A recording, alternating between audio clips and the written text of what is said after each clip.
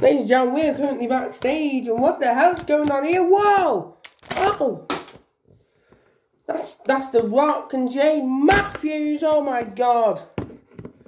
They also extended their fight out to here. Wait, oh my god, no! RKO! And now The Rock stunned Jay Matthews. Oh my god, no, no, no, no. Jay, I advise you think about this. There is a table down below, but Jay, I advise you think about this. No! Oh my god! Now that is gonna hurt someone.